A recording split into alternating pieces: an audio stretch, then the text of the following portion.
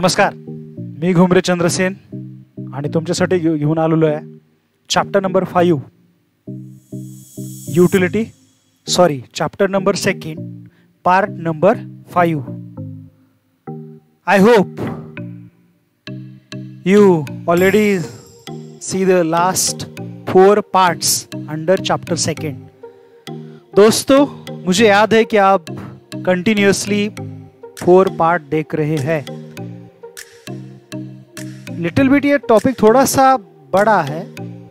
हम कोशिश कर रहे थे कि सब टॉपिक को एक ही पार्ट में बनाए, मगर ये पॉसिबल नहीं हुआ। उसका एनालिसिस और एक्सप्लेनेशन खूब बहुत ही ज़्यादा है, इसलिए हमको बहुत सारा टाइम भी लग रहा है। Right so last lecture we already discuss in part number four what is mean by law of diminishing marginal utility and now today we focus on that is uh, part number 5 and also last topic there is also two topic is there there is one is importance and another one is a that is a price and utility relationship clear इस पे हम focus करेंगे चलो तो फिर don't wasting time we go to the topic.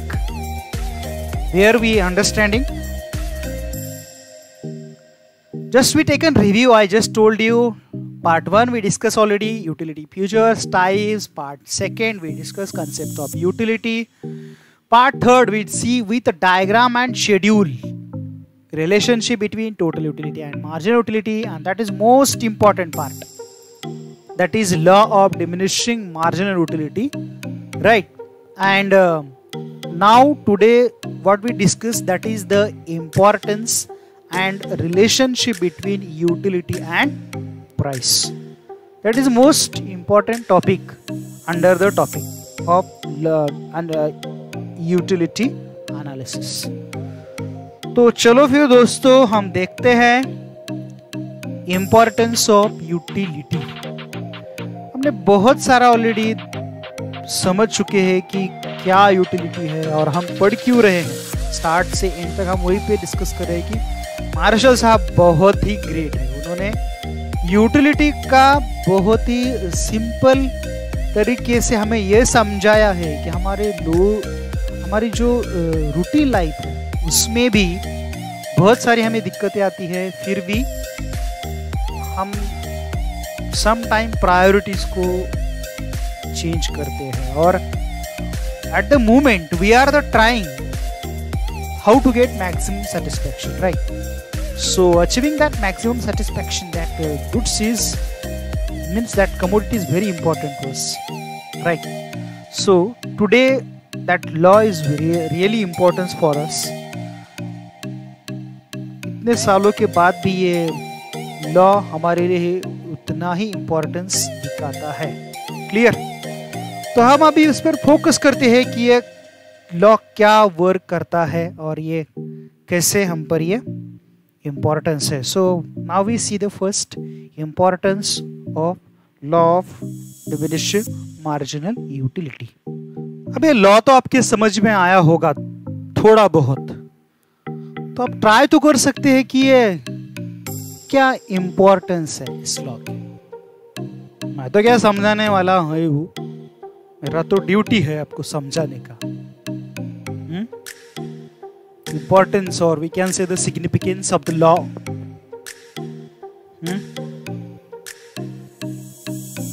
क्या guess कर सकते हैं आप? ये क्या इंपॉर्टेंस है इस लॉ के? हुँ? बहुत सारे इंपॉर्टेंस है। और उसको हमने टू पार्ट्स में डिवाइड किया है। ये पार्ट से आप डरते लोग हैं बहुत, है ना? क्योंकि ये चैप्टर सेकेंड पाँच पार्ट में आ गया यहाँ पर। तो फाइव डिफरेंट टाइप्स की वीडियो आपको देखनी पड़ेगी ना? ये लॉ का इंपॉर्टेंस थियोरटिकल एंड प्रैक्टिकल ऐसा डिवाइड होता है। Clear theoretically and practically clear whether law is running that law how much और most important theoretically as well as practically. So anybody can tell me please what is difference between theory and practical? क्या logic क्या है आपका theory और practical में हुँ? हम्म? नहीं ये तो मैं दिखाऊँगा नहीं आपको ये गलती से आ गया बताइए। क्या इंपॉर्टेंस है? मीन्स डिफरेंस क्या है? ओके यानी concept we understand first and that whatever we understand from the concept उसका हम प्रैक्टिकली इंप्लीमेंटेशन करते समझ लो कि मैं फोर व्हीलर को मुझे चलाना है। लिसन क्या बोलो मैं?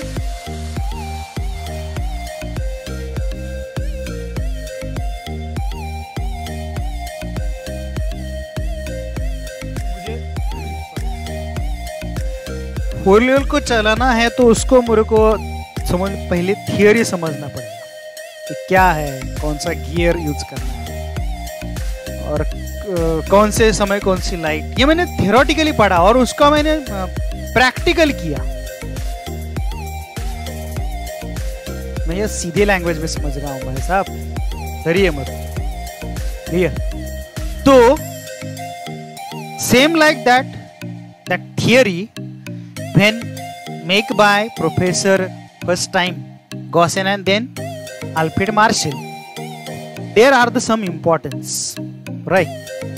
So, there is a, give the one picture front on your screen. क्या है अभी ये? बोलिए। ओके वाटर है और डायमंड है वेरी गुड आपको समझ में आ गया? आप तो होशियार लोग हैं। बताइए फिर क्या है? किसमें यूटिलिटी कम है और किसमें ज़्यादा है? एब्सोल्युटली वाटर में ज़्यादा है और डायमंड में कम है। क्यों है कम है? हाँ डायमंड तो हम खा नहीं सकते और पी भी नहीं सकते और उसका नाश्ता भी नहीं ब्रेकफास्ट भी नहीं बना सकते राइट मगर ये वाटर है, बहुत ही इंपॉर्टेंट है। अभी इसको मैं, उसको डिवाइड कीजिए फिर। M U and T U में। वैल्यू याद है? टी यू की वैल्यू किसमें कैलकुलेट किया है? Value in use and M U का value in exchange so divide कीजिए। यस डायमंड का वैल्यू इन एक्सचेंज ज़्यादा होगा मगर total utility means use in value कम होगा। वाइस वर्षा वाटर का value in use listen carefully value in use बहुत ज़्यादा होगा और मार्जिनल यूटिलिटी बोलते हैं उसका जो वैल्यू इन एक्सचेंज वो बहुत ही कम होगा। सो so, ये क्या है ये? That is the inverse relationship हम इस लॉ से ये समझते हैं कि कोई भी दो चीज़ लेंगे कि हम ये सिलेक्ट करेंगे कमोडिटी को तो उस कमोडिटी में हमको ऐसा मिलेगा। यहाँ पे हमने सिलेक्ट किया है कि ऐसी एक commodity there is very rarest commodity कि where value in use and value in exchange both are the same बता सकते हैं, ऐसा कोई कमोडिटी है? जिसमें वैल्यू इन एक्सचेंज भी सेम है और इसका यूटिलिटी भी सेम है। सॉरी टोटल यूटिलिटी नहीं है? तो ये हमें ये लॉ से समझ आता है paradox of value we are understanding from the law right so means where have more exchange value, there can be less value in use vice versa where are more use their value in exchange is less so there is the paradox means ये inverse relationship है किसमें wow that is the price of commodity means sorry uh, value in exchange and value in use so that is the theoretical importance of the law ये simple है शायद। Yes ये बैठे हैं कोई तो और उन्होंने ग्रेप्स अज्यूम कीजिए वो ग्रेप दिखता नहीं है। ओके तो गिरा तो ये कौन सा है ये? ग्रेविटी फोर्स उन्होंने बना दिया है। क्लियर तो ये लॉ उनका बहुत ही फ़ेमस है न्यूटन का लॉ क्लियर जिन्होंने सॉरी मैं नाम भूल गया सॉरी गलत हो गया मेरे से। So where are the listen but that what is the theory of that law when any commodity comes to the downside, there is makes to the some gravity.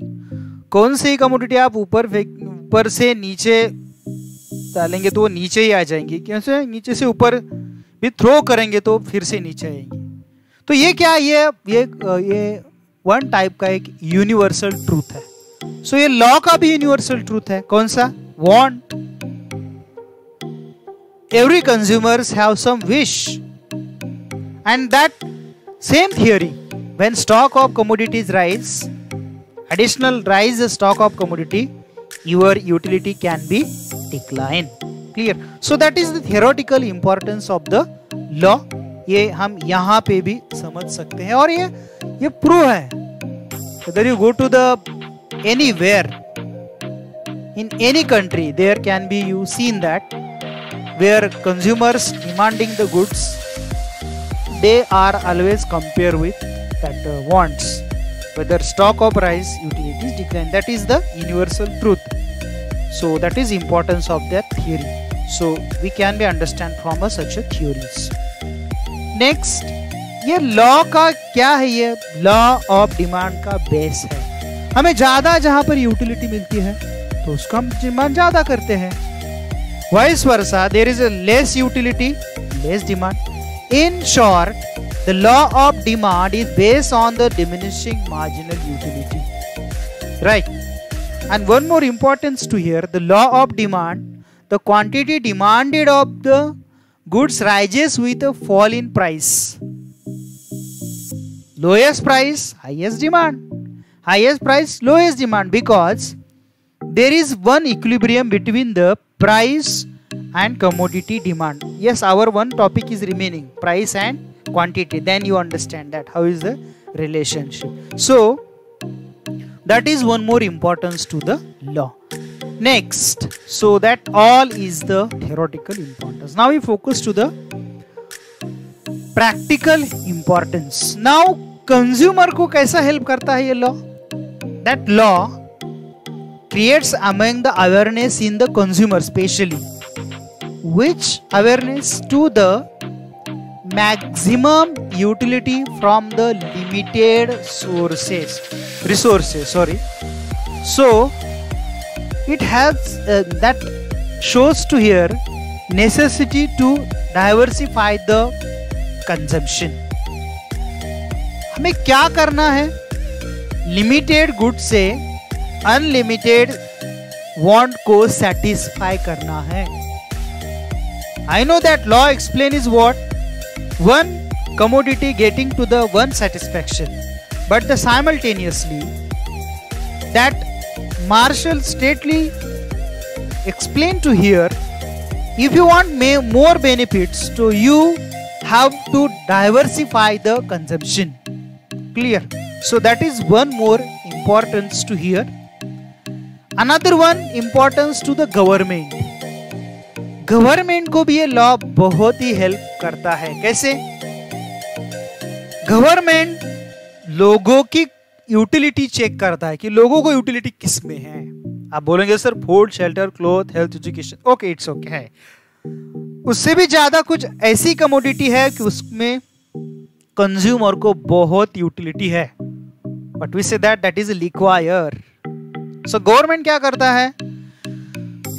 Habits specially bad habits goods governing government imposing high taxation. and where are people's more utility but there is a, people's get more benefit there are government charge less government taxes means in short taxation policies trade policies or pricing policies have most important to the theory ये government को बहुत ही importance है another importance to the producer कोई भी producer हो तो वो पहले ये देखता है कि कंज्यूमर को किसमें ज़्यादा यूटिलिटी है।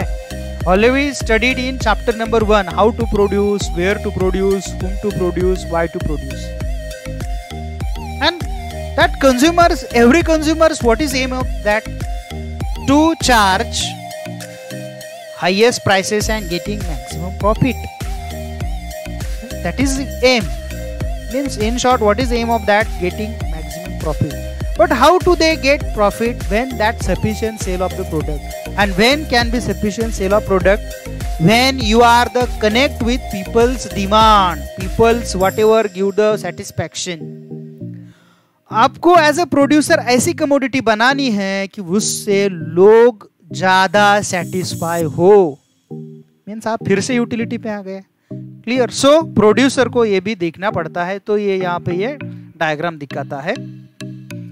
नेक्स्ट मोनोपोलिस का पहला एम क्या होता है कि वो तो पहले ही सिंगल सेलर होता है। So that sellers know that peoples have more utility on our product so he और she can charge more price of its product क्योंकि मोनोपोलिस है ही क्योंकि उसको कोई सब्सिट्यूट नहीं है तो उसको पता है, हमारे कमोडिटी में ज़्यादा यूटिलिटी है, So consumers cannot be postponed demand for that product who sell by monopolist. जो मोनोपोलिस प्रोडक्ट सेल करता है तो उसका पूरा नॉलेज सेलर्स को होता है, इसलिए वो ज़्यादा प्राइस चार्ज करता है। So that is also benefits to the monopolist and most important that is welfare measures अब अब ये पिक्चर आप बोलेंगे कि सर ये कोरोना का अभी का है नहीं, ये ओल्ड पिक्चर है भाई। ये कियस मिड डे मील का पिक्चर है।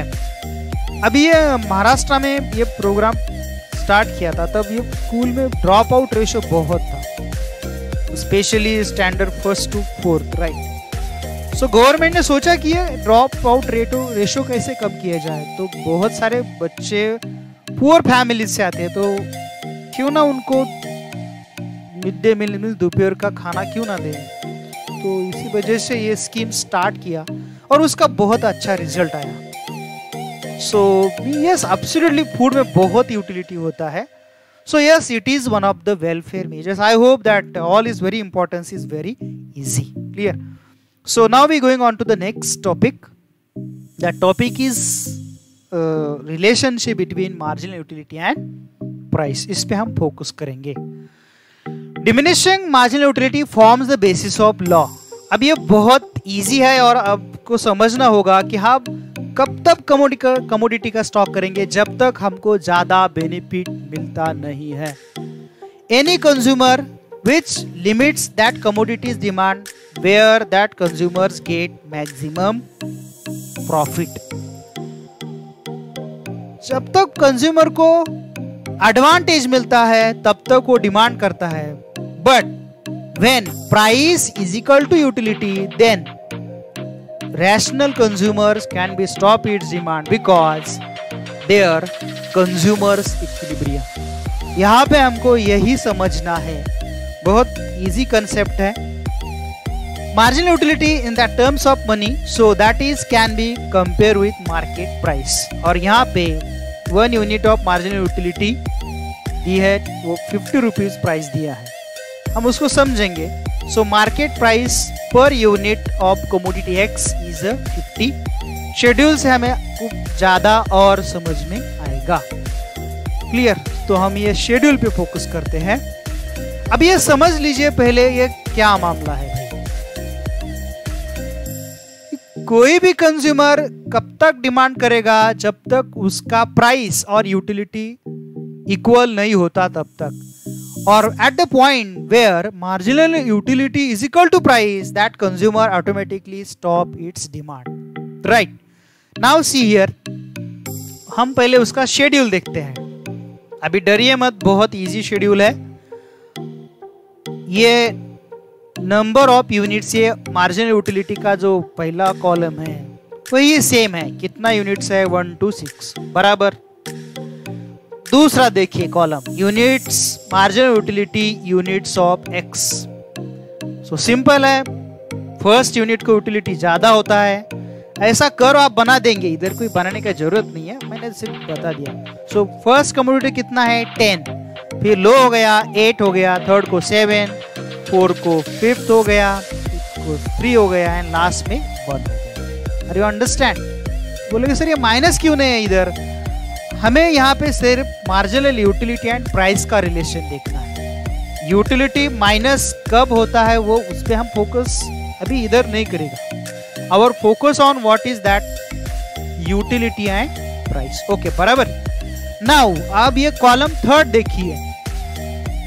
यहाँ पे मेरा एरो दिख रहा है यहाँ वेरी गुड अभी देखो ये column first into column second तो ये क्या हो गया? Units into marginal number of units into marginal units of commodity X so ten into one ये मल्टीप्लाई हो गया. सो तो ये टेन इंटू टेन हो गया तो ये हंड्रेड हो गया. तो हमने वो टेन सॉरी ये पहला का नहीं सॉरी सॉरी ये मैं थोड़ा सा गलत बोल गया इधर। Column second into price ten ऐसा कैलकुलेशन करना है। Already I already show you in last slide अब ये देखिए, समझिए।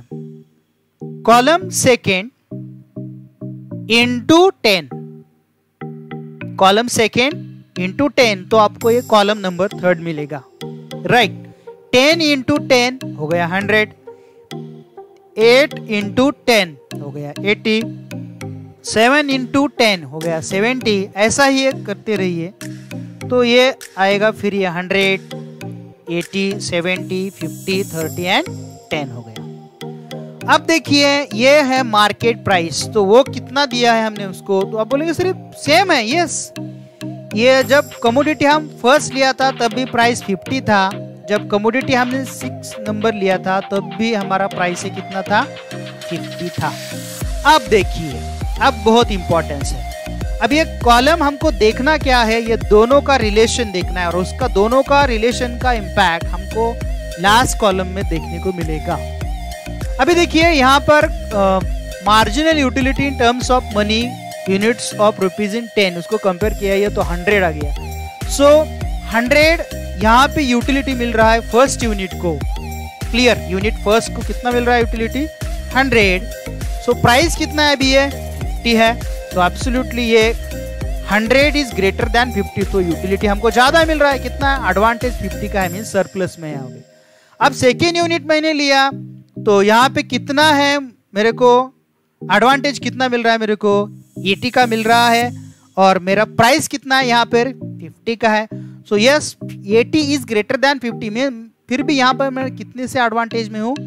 थर्टी रुपीज़ से एडवांटेज में हूँ। जब मैंने थर्ड थर्ड यूनिट्स लिया कंजम्पशन का, वहाँ पे मार्जिन यूटिलिटी सेवन हो तो कम ही होता जाएगा। तो उसका प्राइस कितना है अभी? सेवेंटी है। प्राइस सेवेंटी है सॉरी ये units of terms of money कितना हो गया ये? तो सेवेंटी हो गया। तो प्राइस कितना है मार्केट का? फिफ्टी है। मैं यहाँ पे भी ट्वेंटी से सरप्लस में हूँ। When I demand to do the fourth units of consumption अब ये देखो, यहाँ पे प्राइस भी 50 है और यूटिलिटी भी मेरे को 50 मिल रहा है। अभी यहाँ पे मैं जो रैशनल कंज्यूमर होगा तो मैं क्या सोचूँगा? अभी नहीं है मेरे को जितना यूटिल जितना प्राइस मैं पेड कर रहा हूँ, उतना ही मेरे को यूटिलिटी मिल रहा है। तो अब मैं यहाँ पे स्टॉप करूँगा। समझ में आ रहा मैं क्या बोल रहा हूँ? अगेन मैं रिपीट करता हूँ, ये कॉलम नंबर फ़र्स्ट है और ये कॉलम नंबर सेकेंड है। कॉलम नंबर सेकेंड को टेन से मल्टीप्लाई किया तो कॉलम नंबर थर्ड आ गया। थर्ड आ गया तो इसको ये देखो, ये सबको मल्टीप्लाई हो गया टेन से तो ये हंड्रेड एटी और लास्ट में टेन आ गया। ये मार्केट का प्राइस है फिफ्टी है। ये हम दोनों को कंपैरिजन करेंगे। यहाँ पे देखो टाइटल बोलेंगे, अब कॉलम नंबर ये सर ये लास्ट कैसे आ गया? अरे भाई, ये कंपैरिजन है। Comparison between margin utility and price so so, यहाँ तक यूनिट फोर तक तो ठीक है। वहाँ पर margin utility is equal to price ठीक है। अगर मैं अब ये ज़्यादा यूनिट्स लेता हूँ तो मैं यहाँ पे पे कितने करने वाला हूँ? रुपीज़ फिफ्टी तो मैं पे कर रहा हूँ मगर बेनिफिट्स कितना मिल रहा है मेरे को? थर्टी सो so, मेरे को लॉस है। Means thirty less than rupees fifty means यहाँ को कंज्यूमर का इक्विलिब्रियम नहीं हो रहा है तो उसको डिसएडवांटेज मिल रहा है, उसको सरप्लस नहीं मिल रहा अभी तक क्या था? 50 यूनिट तक उसको सरप्लस सॉरी ये फोर्थ यूनिट तो उसको सरप्लस था। जैसे ही वो ज़्यादा का यूनिट डिमांड करेगा तो उसका सरप्लस लॉस हो जाएगा। अगर वो अगेन नहीं स्टॉप हुआ तो उसको और उसका जो बेनिफिट था वो और फिर से कम हो गया। मैं यहाँ पे कितना लॉस हो गया? Thirty less than fifty means ये ट्वेंटी का लॉस हो गया। और एक कमोडिटी वो डिमांड करता है। तो प्राइस तो वहाँ पे फिफ्टी है। तो वो कितने को, अब ये क्या हो गया? फिर ये टेन हो गया। मीन्स यहाँ पे फोर्टी का लॉस है। समझ में आ रहा है? अभी इसमें एक पॉसिबिलिटी है ये कब तक डिमांड करेगा एक कंज्यूमर जब तक उसका marginal utility and price equal नहीं होता तब तक। अगर ये समझो, ये यूनिट 50 है और वहाँ पे क्या हो गया? प्राइस 40 हो गया। तो बोलेंगे स्टॉप करेगा। बिल्कुल स्टॉप नहीं करेगा, वो डिमांड करेगा। क्यों? यहाँ पे प्राइस कम हो गया। और कंज्यूमर का बिहेव है कौन सा? लेस प्राइस मोर डिमांड जितना प्राइस कम होगा, उसको ज़्यादा यूटिलिटी मिलेगा ना। सिंपल लॉजिक है, उसमें तो कोई है ही नहीं। क्या बोला मैं? यहाँ तो कोई ये there is no any logic और कोई मैजिक भी नहीं है। और लॉजिक भी नहीं है कि यहाँ पे स्टेटली अंडरस्टैंड करते हैं हम। प्राइस कांस्टेंट है और जब तक price is equal to utility नहीं होता, तब तक कंज्यूमर डिमांड करता है। So what we learn from that schedule we first learn that schedule intra marginal units means what marginal utility of X means X means your greater than P X ये कहाँ तक है ये? Unit one two three यहाँ से means 100 greater than 50 80 greater than 50 70 greater than 50 तो ये situation क्या दिखाता है? इंट्रा मार्जिनल यूनिट्स मींस यहाँ पे हमें सरप्लस मिल रहा है। ये केस सेकंड क्या दिखाता है? जहाँ पे यूनिट नंबर फोर डिमांड किया है। So at the moment what happen there where are price is equal to utility so consumers equilibrium at the moment. And last extra marginal units you have pay more but you not getting to the benefits means here marginal utility of commodity x is less than price of commodity x यहाँ पे समझ आ रहे हैं आप तक समझ रहे हैं yes. तो हम अब ये आपको बुक्स में इतने ही मिलेगा तो ये मैंने ज़्यादा का डायग्राम आपके समझ के लिए दिया है और डायग्राम आपको समझ में आएगा, मगर ये शेड्यूल आपके दिमाग में रहना माँगता है। अदरवाइज़ ये पहले शेड्यूल कॉपी कीजिए और कॉपी करने के बाद ही वो आगे का डायग्राम समझ में आएगा। वहाँ पर मेरे लिमिटेशन है कि मैं ये साइमल्टेनियसली ये शेड्यूल आपको दिखा नहीं पाऊँगा राइट तो ये पहले कॉपी कीजिएगा शेड्यूल वो शेड्यूल मैंने वो डायग्राम के थ्रू से दिखाया है। बहुत ही इजी से आपको समझ में आएगा। हो गया कॉपी नहीं तो ये पॉज कीजिए और बाद में कॉपी कीजिए। तो हम ये शेड्यूल को डायग्राम के थ्रू समझते हैं। अभी देखो ये relationship between marginal utility and price ये एक्स एक्सेस है वाई एक्सेस है। क्लियर अब ये कॉलम अब ये बोलेंगे सर ये क्या है अब ये, मैं बोल रहा हूँ ना अभी ये सुनो जरा। ये एक्स एक्सेस पे क्या दिखा है? Unit of commodity X which shown in column first आपके कॉलम में दिया है, आपके शेड्यूल आपके सामने है, मैं ऐसा अज्यूम कर रहा हूँ। अब ये units in terms of money ये वाई एक्सेस पे दिया है। तो units of that is column number अब देखिए फोर वहाँ पे मैंने प्राइस दिया है राइट याद है कुछ? तो हाईएस्ट कितना बेनिफिट था मेरे को? हंड्रेड तो मैंने इसलिए मेजर कर दिया twenty forty sixty eighty and hundred अभी वेरी सिंपल है अभी। अब देखो ये। जब मैंने एक कमोडिटी लिया था तो प्राइस कितना था कमोडिटी का? 50 था वो बहुत दूर है अभी। 40 के बाद इधर देखो 50 आता है। तो मेरे को बहुत बेनिफिट है। क्लियर मैंने दूसरा कमोडिटी लिया, वहाँ पे भी मेरे को बेनिफिट है। एटी मिल रहा है फिर भी। मैंने थर्ड कमोडिटी लिया तो मेरे को यहाँ पे at the third commodity when purchase so 70 मैं फिर भी सरप्लस में हूँ। तो मैंने इसका ये, ऐसा ये ये पॉइंट को एक कनेक्ट करने दिया, एक एक लाइन ड्रॉ कर दिया तो ये आ गया मार्जिन यूटिलिटी बोलेंगे सर ये एमयू ये लाइन कौन सा? ये है प्राइस लाइन ये अभी एक समझ में आ गया ये? ये कॉलम नंबर फोर्थ है। ये दिख रहा है पी एक्स मीन्स ये प्राइस फिफ्टी है। अब ये समझ में आ रहा है आपके शायद। क्लियर तो ये देखिए मैं फिर से आपको दिखाता हूँ। ये first time when consume first units of commodity there your marginal price of commodity is fifty but your marginal utility, that comparison of between mu and price is how many is there? Your आपको benefit कितना मिल रहा है? आपका price तो 50 है, मगर marginal utility वो कितना है? 100 है। क्लियर सेकेंड यूनिट लिया तो 80 है थर्ड को 60 है, और फोर्थ को 50 है। क्लियर ये इंपॉर्टेंस है, बहुत इंपॉर्टेंस है। क्योंकि यहाँ पर आपका price is equal to utility बन रहा है।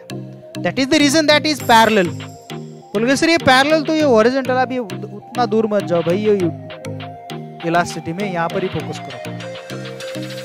सो price is here how many there that is price is 50 अब ये दोनों के बीच में, देख रहे हैं आप ये? 40 60 यहाँ दोनों के बीच में तो ये 50 होगा ही। क्लियर तो यहाँ पर क्या मिला अब तक कंज्यूमर को बेनिफिट्स मिला। समझो ये पहला यूनिट लिया तो उसको एटी 100 था। दूसरा लिया तो कितना है ये ये ये, ये सरप्लस है। दिखा रहा ये येलो क्या है? ये सरप्लस है। पहले 100 था फिर एटी हो गया कम हो गया थोड़ा मगर फिर भी सरप्लस में। और ये तीसरा कमोडिटी कंज्यूम किया तो फिर भी उसको बेनिफिट मिल रहा है।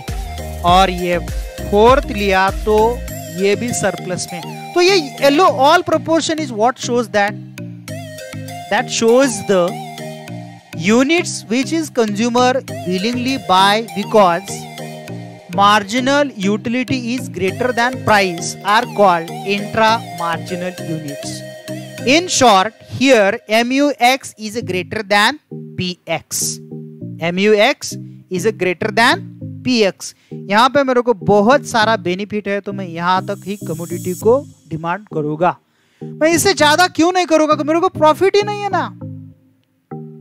अब ये यहाँ पे कांस्टेंट हो गया तो यहाँ पे क्या हो रहा है? Unit at which marginal utility becomes equal with market price is marginal unit in short यहाँ पे क्या है? Consumers equilibrium in short M U X is equal to P X means marginal utility of commodity X is equal to price of commodity X. यहाँ पे ये बड़ा दिख रहा है ये? हाँ ये बॉल बोलती है इसको दिख रहा है ये? हाँ ये तो यहाँ पे घूम रहा है तो ये बोल रहा है ये मेरा इक्विलिब्रियम हो गया। तो ये सब येलो प्रोपोर्शन को क्या बोलते हैं हम? सरप्लस बोलते हैं। क्लियर यहाँ का सब प्रोपोर्शन है ये। ये सरप्लस है। और इसकी ज़्यादा ही हमने कंज्यूम किया तो फिफ्थ यूनिट को अब मैंने लिया तो क्या हो गया वहाँ पर? मेरे को थर्टी ही मिल रहा है। तो ये क्या है? ये लेस है। प्राइस तो मैं फिफ्टी पे कर रहा हूँ मगर मेरे का बेनिफिट कितना है? मेरा अभी मेरा लॉस स्टार्ट हो गया जो मैं अब तक में प्रॉफिट में था। क्लियर उसको प्रॉफिट भी बोल सकते हैं और सरप्लस भी बोल सकते हैं। किसको? एलो प्रोपोर्शन को। और ज़्यादा मैंने लिया तो मेरे को लॉस होगा। सो so, ये इक्विलिब्रियम पॉइंट कौन सा है? यहाँ पे where price is equal to utility तब तक ही मैं कमोडिटी को परचेज करूँगा। क्लियर जो हमने वो शेड्यूल के सामने दिया देखा था यहाँ पर भी हम वही को ही देख रहे हैं। समझ रहे हैं? सो so, ये ऊपर का येलो प्रोपोर्शन है वो है intra marginal units where M U X greater than P X ये सर्कल जो घूम रहा है छोटा सा उसको बोलते हैं कंज्यूमर इक्विलिब्रियम तो ये है M U X is equal to P X and last जो है इधर below below P X line उसको क्या बोलेंगे हम? एक्स्ट्रा मार्जिनल यूनिट्स ये डायग्राम आपके टेक्स्ट में है नहीं तो यह डायग्राम आप जरा शांति से कॉपी करें. अच्छी तरह से कॉपी करिए, समझिए.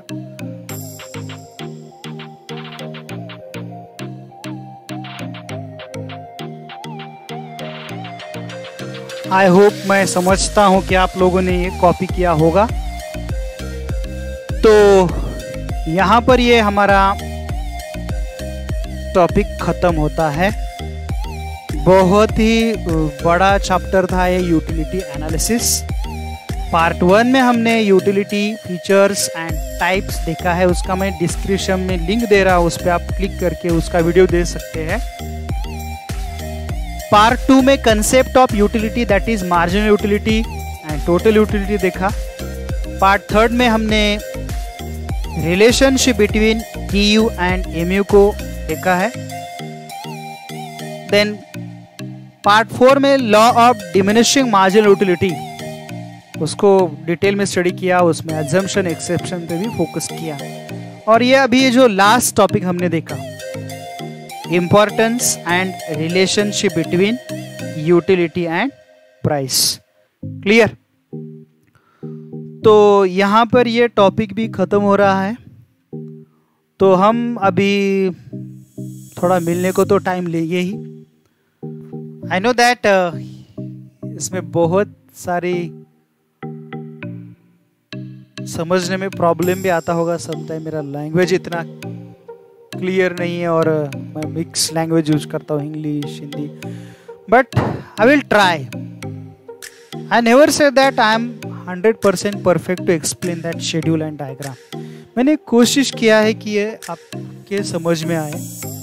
अभी ये लॉकडाउन कब तक चलेगा पता नहीं, मगर ये हमको स्टडी तो को रोकना है ही नहीं। हमें तो समझ लेना ही पड़ेगा। क्लियर होप सो हमारा ये चैप्टर सेकंड भी यहाँ पर कंप्लीट हो रहा है ये चैप्टर सेकेंड में का।